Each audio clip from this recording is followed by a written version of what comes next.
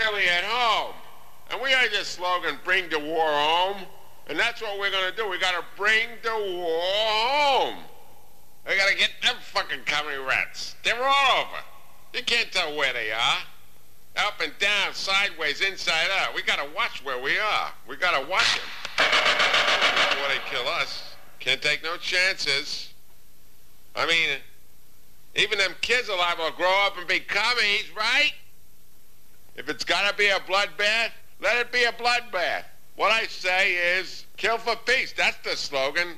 Just kill for peace. The more students we get rid of, the more peaceful everything will be.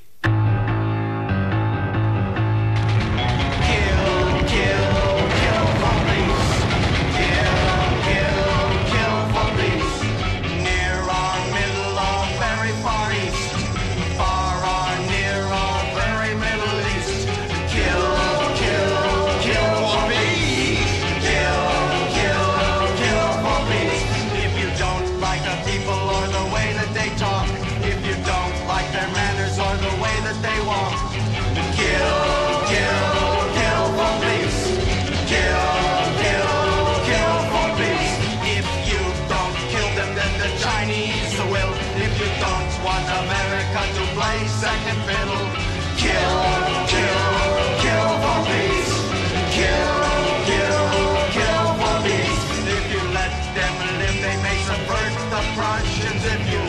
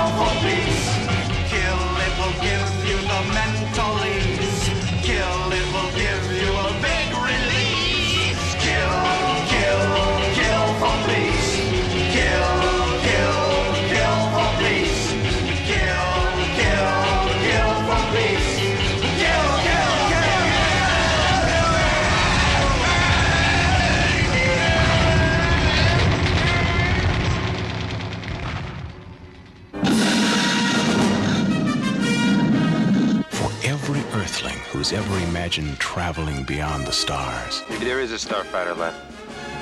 I love you, Alex Rogan. comes the unforgettable story of one who made it. The last starfighter.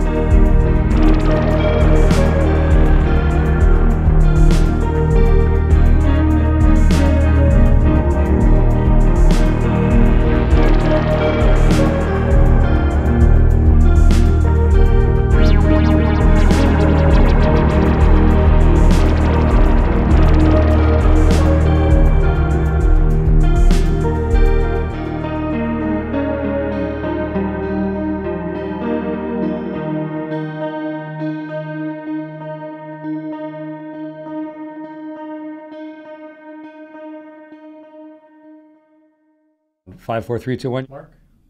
Hi, I'm Commander Chris Hadfield, astronaut, spaceship commander, spacewalker, part time musician. I'm here today to hopefully debunk some common space myths. Here's this common perception that you will immediately fry to a crisp by the unfiltered, unadulterated solar radiation if you get sucked out of the airlock. In truth, it's way worse than that. In the shade in space, it's like minus 250 degrees. But the part of you that's in the sun, it's plus 250 degrees at least. So it's going to start boiling and burning. So it's like lying on a red hot stove with a piece of dry ice on your back. And your lungs are going to be sucked flat instantaneously. But even worse than that is your blood is going to boil, like opening a can of pop where suddenly the, all the little bubbles come out because there's no air pressure around you. So simultaneously, you are going to freeze, boil, burn, get the bends, and no longer be able to breathe. Not a good way to go.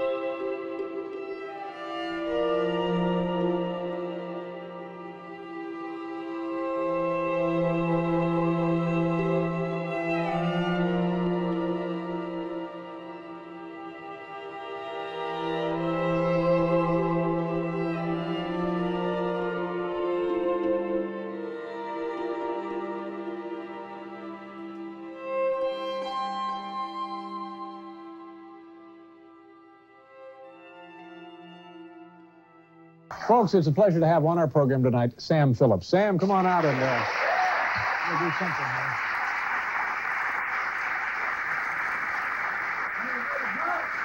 Hi, Sam. How are you? Hello there, Mr. David. Nice to see you. Come on over. Glad to have you here. Come on over there, Sam. Right around there and have a seat if you will, sir. Nice of you to be with us tonight. How are you doing? This is a beautiful set, David. Thank you very much. and it's all ours. this is beautiful. I can see Grant is doing you right. No doubt about it, no matter what you say about him. Yeah. So, how are things? Everything all right? you know, everything is uh, fine. I've been back there with Robert and Morton, Robert Morton, right? and he's been trying to write a book on me in 30 minutes. Uh-huh. Impossible, I'm guessing. You couldn't do that. Well, uh, Robert could write a book on anybody. He can talk Yeah. real good. Yeah. Why don't you have him as a guest on your show? Well, we should do that. Maybe, you know, from time to time we have staff members on and we talk to You them about- do? Yeah, yeah, yeah. But we want to talk about you tonight, Sam. I see. Is that all right? David, we were trying to talk about me just here for a little while. Uh-huh. Okay. Well, you're, you're lucky to be you here. have your teeth fixed. Along. Gee, maybe I ought to have that done Well, tonight. how did you use buck teeth and make a million dollars? Now you know there's not a lot of people can do that. No, I know, I know. I've been, I've been very lucky. Think about my God. Honestly, think You're lucky you're inside tonight, Sam. Is it that bad? Yeah, yeah. Yeah. It does look like it Yeah. is. uh, Now, Sam. Yes. Um, now, tell me about the uh, the early days there at uh, at uh, Sun uh, Records. Now, who who what kind of a sound were you trying to uh, establish there? Let's see. Let me think of that. Well, now that was before Paul Shaffer's era. That's right. That's right. what kind of sound? Wa- Was there a specific, or would you just record anybody who came through? Why, certainly, David. Uh huh. Uh, you got to work for this a little while tonight, son. Yeah, yeah, I believe I. Yeah. You know, uh, I don't give away all of my secrets because when this show goes under, you might want to start recording. You know, you still a young man.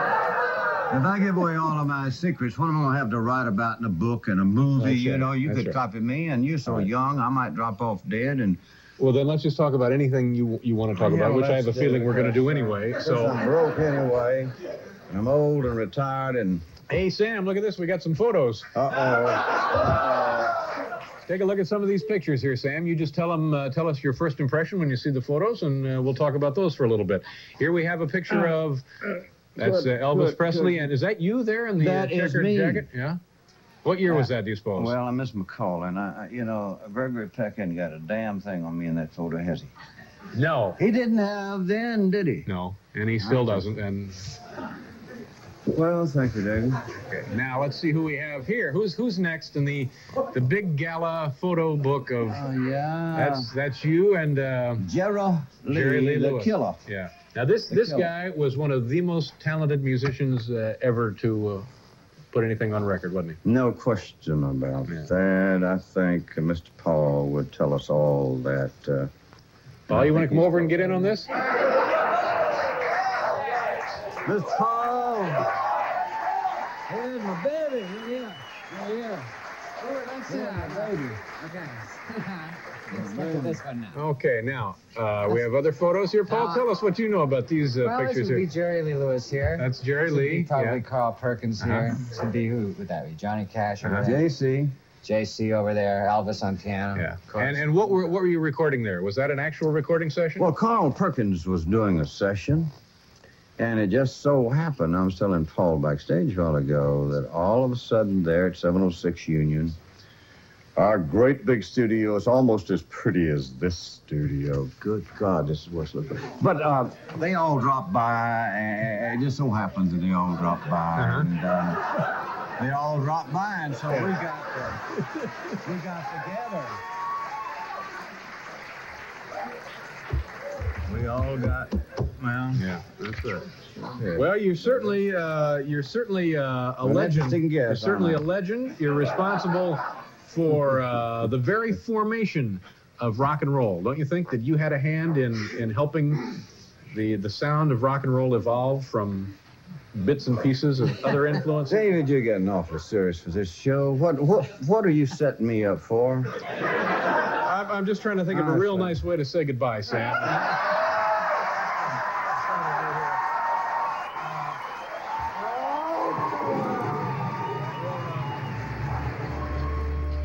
Right there. Right there. Get it. Get it. I'm telling you, man, I'm gonna get that cow. I'm gonna get that goddamn cow. Shit. Man. It is steak night, goddammit.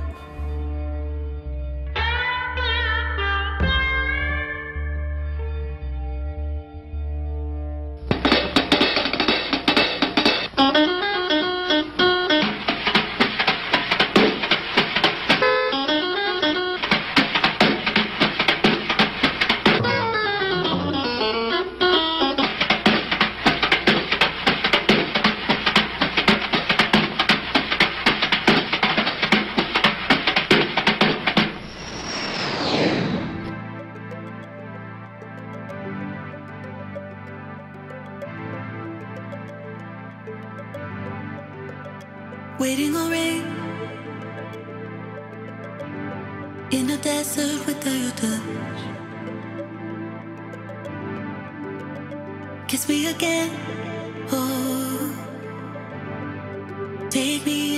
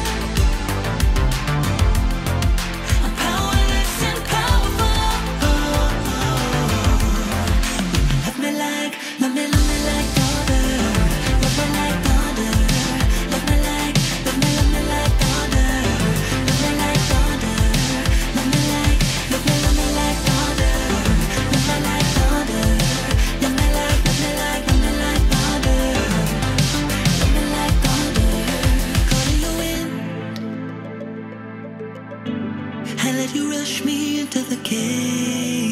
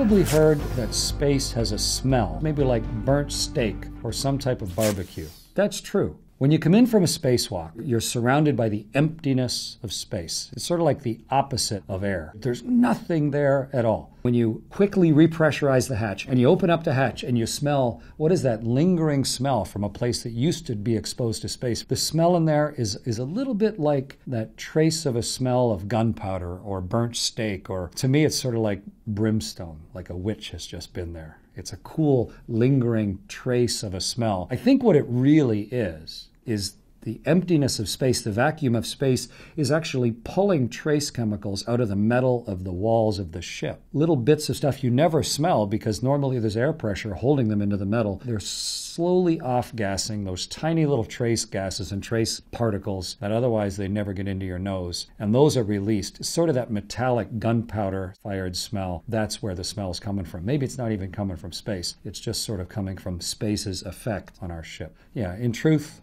smells a little bit like a burnt steak.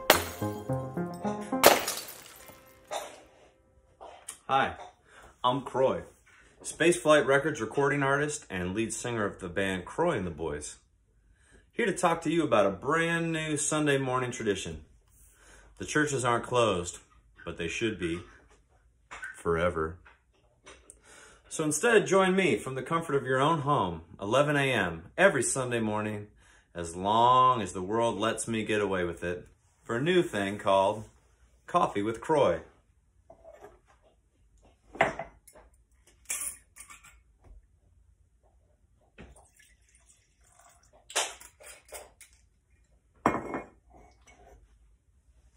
See you on Sunday.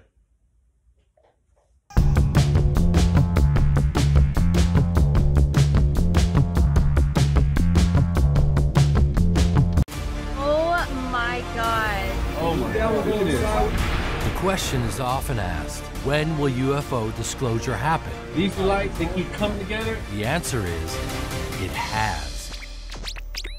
The New York Times revealed the existence of a secret government program to investigate UFO sites. This is a very complicated story. I have put a briefing together for every president since Bill Clinton. Interplanetary war. This is the next big thing that they want the public to be afraid of. This is a national security imperative. We must have American dominance in space. But it's all a lie. the national security state. They want to establish a planetary government by spinning that this is a threat. One set of facts, two narratives. The threat isn't extraterrestrial, the threat is covert human. The Close Encounters of the Fifth Kind protocols, developed by Dr. Greer, is the most dangerous information he has released to the public. Human initiated communication with extraterrestrials is possible. Oh. All of us are going to know the truth. This is our moment. We have the ability to change life for the better. Consciousness isn't limited by space and time. What I'm doing with CE5 is the foundation for the relationship between humans and these extraterrestrials. But the implications are absolutely profound. That shows consciousness does affect reality. A critical mass of people can shift an entire civilization. But the intelligence community don't want the public to know. They say, what's in it for me? It's easy. A new world, if you can take it. Oh my god.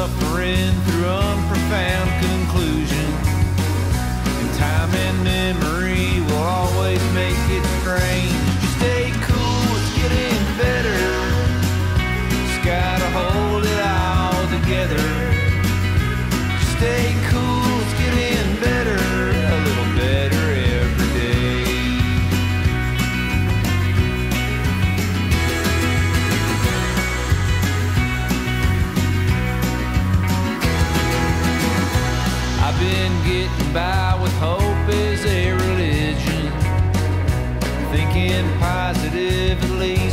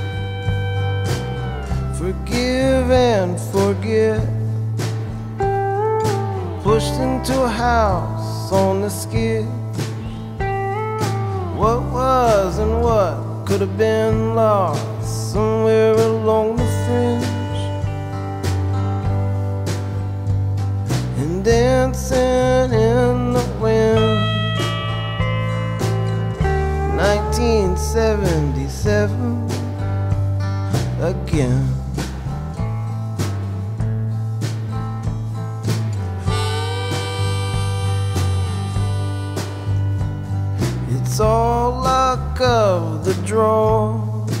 A pickup in a blue Katy doll. It's already written on my palms and wrapped in a Navajo rug. And dancing in the wind. 1977 again.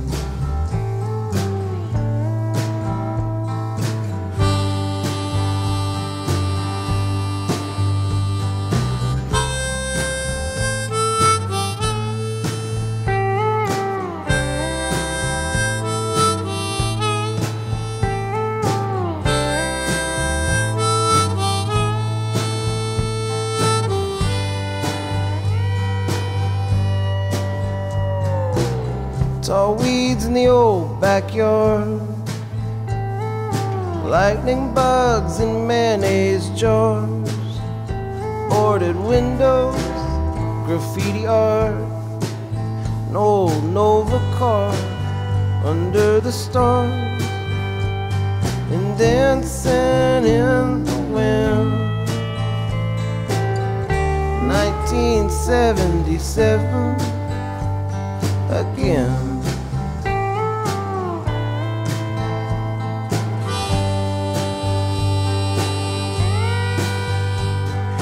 Dancing in the wind. 1977 again.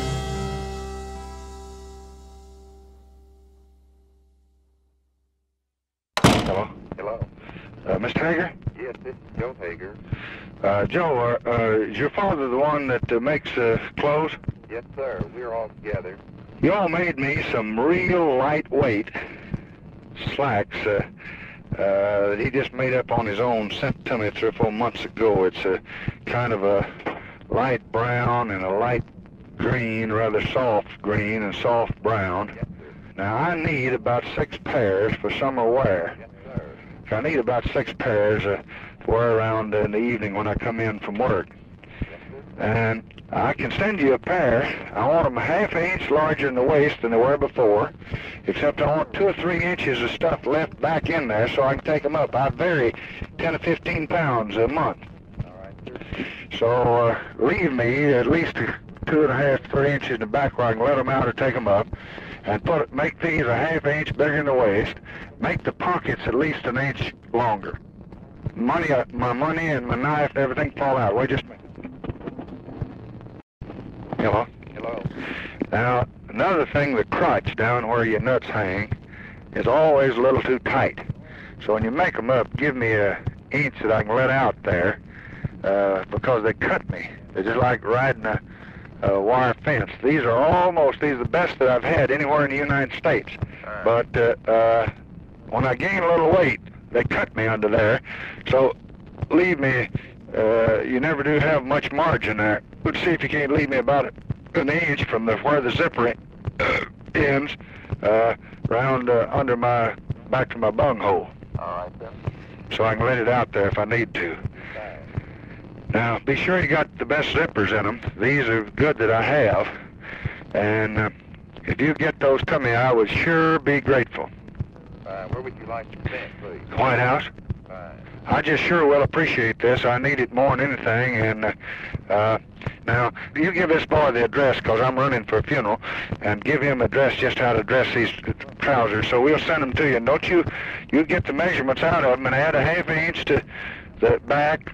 Give us an inch to the pockets, and about a uh, inch underneath, uh, so we can let them out. In other words, you like just a little more stride in the crotch. Yeah, that's right. Yes, sir. Okay, here he is. Glad that you enjoyed the other. Okay, go ahead, please.